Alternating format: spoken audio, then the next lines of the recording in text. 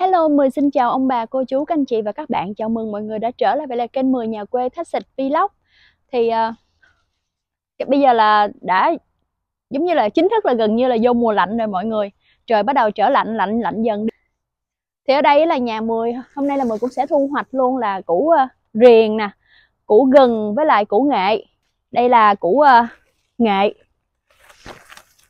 Nghệ thì 10 chỉ trồng được bằng này thôi thì 10 cũng sẽ nhổ hết luôn mọi người mình thử nha thử khai, khai trương khai trương cái nghệ năm nay coi nó có uh, được nhiều không?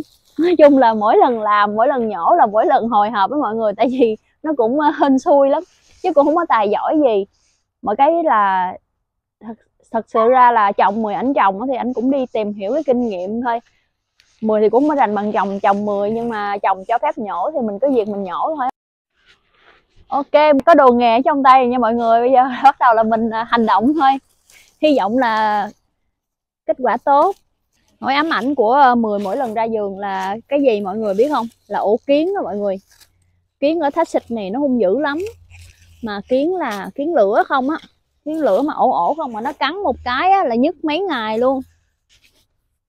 Sai mọi người ơi sai quá sai lúc mà đi ra giường á mà coi đào đất á rồi tóc á thì chấm vô cái đất rồi phải đi cột tóc người lên nữa mới, mới bắt tay vô mười mười quậy tiếp nha mọi người. Chờ mười chút xíu ha. Rồi. Tóc tai ngon lành này nha mọi người. Giờ làm thôi. Thử coi được chưa? Ngon ạ nè mọi người. Đây những củ nghệ đầu tiên. Quá đã quá đã. Wow. Rồi mình tạm thời để đây. Mình phải uh, nâng niu. Này chắc củ giống năm rồi ha. Ờ cái củ giống này năm rồi nè. Này mới nhú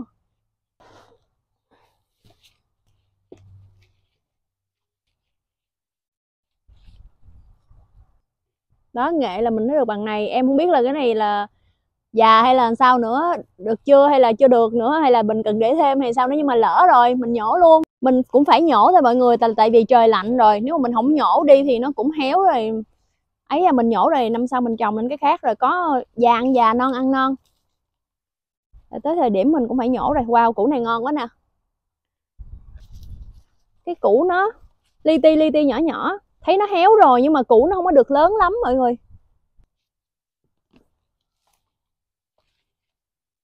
À cái này to nè. To hơn cái củ đó chút xíu. Ủa, giờ nghệ non này mình làm gì ăn ta? Nghệ non này mình làm gì ăn vậy, mọi người? Đây, có củ to này. Thật sự ra là cũng bự. Cũng có nhiều củ bự.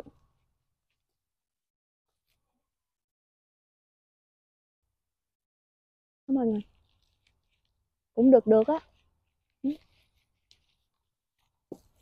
Mình để đỡ đây đi. Rồi một hồi à mình dọn dẹp sau. Rồi bây giờ mình sẽ qua tới củ này là củ riềng bây giờ mà mình không làm á là mọi vài bữa nó là nó lạnh dữ lắm là mình không làm được luôn mọi người. Cho nên mình à, tranh thủ có thời gian rảnh nên mình làm luôn. Đó, mình cứ đào vậy, củ nào ăn được thì ăn, mình bỏ tủ đông mình vẫn xài được nha mọi người. Hồi năm sau mình trồng cái cá. Thơm ghê á, củ riềng này nó thơm dễ sợ. Rồi, mình sẽ hốt cái đất này, mình bỏ qua đây. Thì thường thường là em chỉ sử dụng, em làm được hai món mà em biết thôi. Một là nấu lẩu thái, hai là nấu à, mắm. Mắm với thịt với riềng bằm á mọi người. Mắm ruốc á thịt bằm với riềng tỏi hành. Trời ơi nấu xong bỏ vô cái hũ ăn cơm. Tới công chuyện luôn. Em bươi nãy giờ là coi như là cũng uh, lâu lắm rồi đó mà em cắt vô video cho mọi người mọi người coi mới có mấy giây à đúng không? Cái này em bươi là đổ mồ hôi hột luôn á. Em thấy cái này không khả quan à anh ơi. Hay là mình đổ ra đi ha? Mình đổ ra xong mình môi cát ra từ từ đi mình coi cái rễ chứ nó sâu quá à. Môi giờ tới chiều luôn á nha nha anh. Ok. Ok, mình đổ ra luôn mọi người. Coi dưới này có gì không? Ôi ơi, nguyên con rít luôn. Nguyên con rít bự chà bá luôn. Ôi ôi. Mọi người coi cái rễ nó như vậy thì mình đào biết chừng nào mình mới mới mới được. Rễ nó như vậy luôn nè mọi người. Em quyết định là đổ ra là sáng suốt. Bây giờ mình môi từ từ thôi, chứ còn đào biết chừng nào.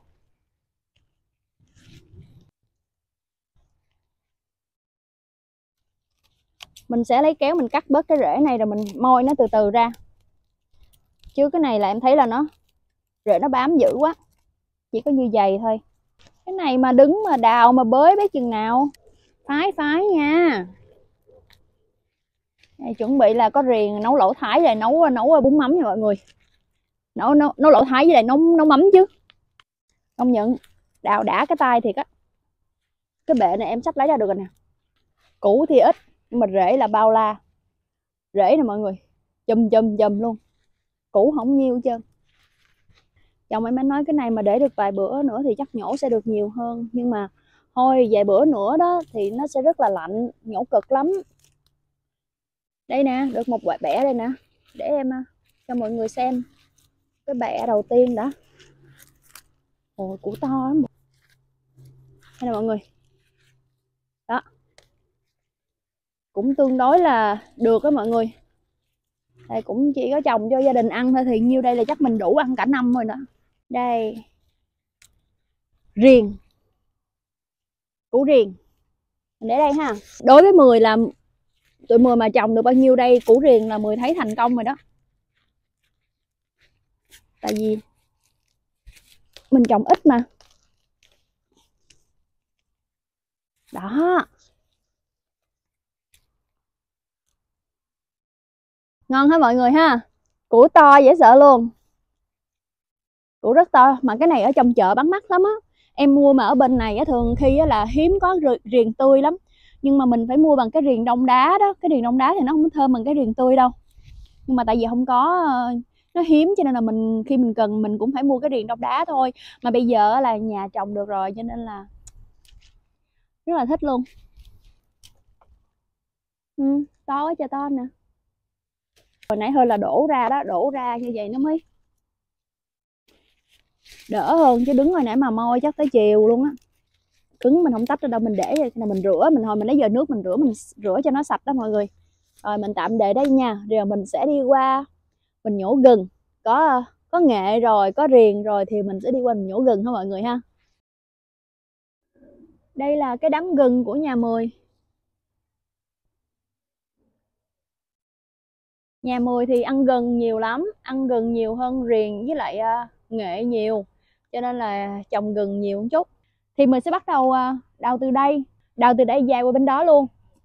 Mấy năm trước á mười hay ngâm cái rượu gừng cho mùa đông á mọi người cho nên là mười đi mua gừng ở ngoài. Mà gừng nhà mình trồng thì làm nó thơm hơn mười ngâm à, uh, gừng nè với lại uh, chanh nè với lại uh, rượu với lại đường phèn. Đó để dành uống trong cái mùa lạnh đó mọi người để ngừa cái cảm cúm thì mười hay làm vậy, mỗi năm mà cứ ngâm bình vậy đó. Cho nên trồng gừng nhiều. Thí dụ mà mình đào mà có sót cũng không sao mọi người. Thí dụ mà năm nay mình sót thì năm sau nó sẽ tự mọc lên được. Nó sẽ tự mọc lên luôn mà mình khỏi cần trồng. Bắt đầu là em thấy là khả quan rồi đó. Từ từ. Tại vì mười, khi mà mười trồng á, mười trồng cái giống gừng organic cái củ nó rất nhỏ, cho nên là mình nghĩ là cái khi mà mình trồng ra cái củ thì nó cũng sẽ nhỏ như vậy thôi, chứ không được là củ bự giống như là trong chợ bán cái gừng non thì mình có thể mình ăn được ở trên cái gừng cái cuốn luôn. Thay vì giống như, thay vì mình ăn cái củ gừng, không không? Nhưng mà gừng non ở nhà mười là mình sẽ cắt cái cây bỏ thôi, còn cái cuốn này mười vẫn ăn luôn, là bởi vì nó rất thơm. Bộ công anh, bộ công anh mùa này nó lạnh quá, nó mát trời, nó lên lại nè. Không biết mọi người có biết cây bồ công anh không ha? Ở Việt Nam mình thì bồ công anh này nó chỉ ờ, có ở vùng Bắc, vùng núi phía Bắc và Đà Lạt Đà Lạt có thôi. Chứ còn ở Sài Gòn hay là mấy cái tỉnh miền Nam mình thì nó hơi bị hiếm là bởi vì cái khí hậu nó không có phù hợp. Nhưng mà cây bồ công anh là cây thuốc đó mọi người. Mọi nghe nói nó là một cây kháng sinh tự nhiên rất là tốt. Thỉnh thoảng là mọi cũng nhổ vô ăn sống hoặc là nấu nước để uống. Ở đây nhiều quá, không biết đào khúc nào trước luôn á. Cây húng quế thơm dễ sợ. Đứng nhổ gừng mà nghe cái mùi thơm á nó nó kế bên vậy đó. Nhổ gừng mà tự nhiên thèm phở ngang không củ cũng uh, tương đối là ok. Em không biết là em quay như vậy mọi người có thấy rõ không ha?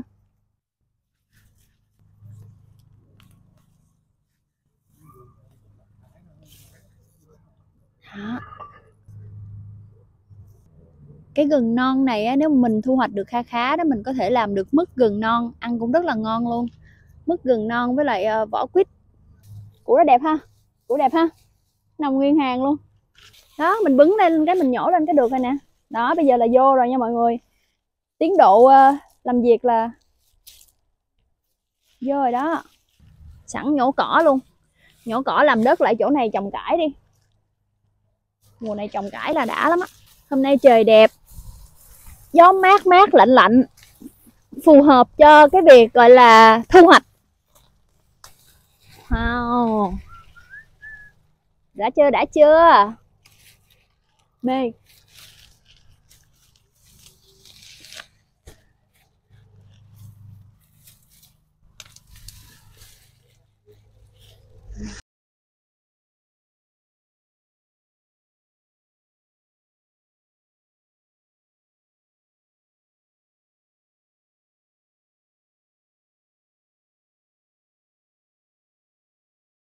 Thousand years later. thì sẵn đây em cũng ờ, nhắc nhẹ với chị gái em luôn á là uh, thấy nó nhiều nhiều như vậy. Nhưng mà gần này á, thì ờ, theo dân gian và truyền thuyết kể lại rằng đó là mình có thể để tủ đông. Mình ăn dần dần mà mình không cần thiết phải phân phát hoặc mình không cần thiết phải chia cho ai hết nha mọi người. Nên là thí dụ mà chị gái ruột của em mà có coi được cái video này thì uh, cũng uh, xin hiểu giùm có dư không có dư mà nếu có dư thì em để vô tủ đông, em để dành năm tới em ăn nữa. Chứ cũng không có dư nữa. Vậy nha.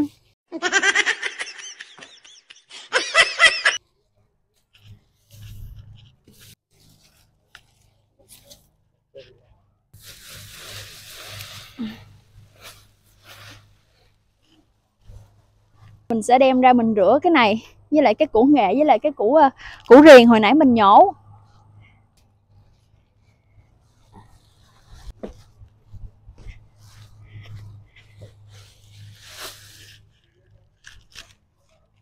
Cắt ra.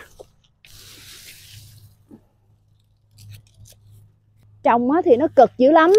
Nhưng mà hả, lúc mà mình à, được ăn thì nó nó đã dữ lắm mọi người. Ăn đã dữ lắm.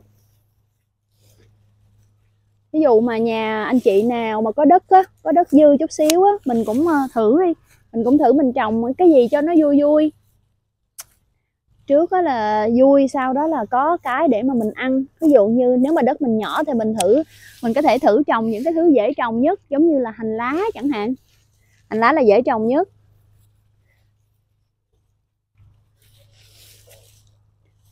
Hành lá nè, rồi hành củ nè, tỏi nè, gừng nè, nghệ riềng mấy cái đó là mấy cái gia vị là em thấy là không thể thiếu cho người việt của mình bây giờ thì mình sẽ ờ, rửa nha mọi người. Cắt sạch sẽ hết rồi. Nghệ này thì mình có thể ờ, mình ờ, kho cá được nha mọi người. Cá kho nghệ ngon lắm á. Mình làm món mắm kho liền quá mọi người ơi. Mua thịt băm về ha cái mua hũ mắm ruốc về. Với lại nghệ riềng này nè, mình bầm nhỏ nhỏ ra. Riềng tỏi củ hành, phi thơm lên. Sau đó cái là cho thịt vô xào xào cho nó săn cái thịt lại nêm nếm. Sau đó cho mắm ruốc vô. Cái mình sơn cho nó kẹo kẹo kẹo kẹo lại cái mình để vô. Tủ đông à, tủ lạnh. Mình ăn dần. Với lại cơm nóng.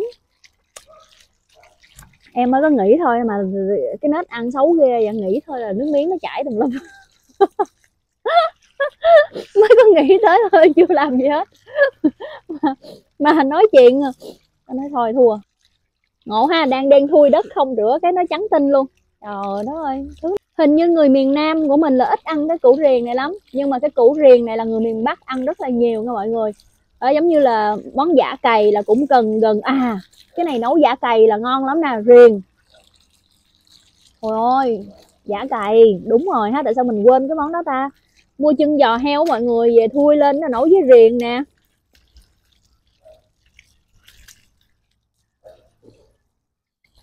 Ờ, quá giờ riêng rồi đúng rồi đó một là giả cày hai là món mắm ruốc uh, xào xào riềng nghệ thì kho cá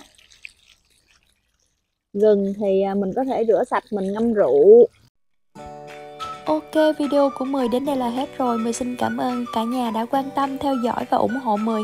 Hẹn gặp lại mọi người ở những video tiếp theo nha.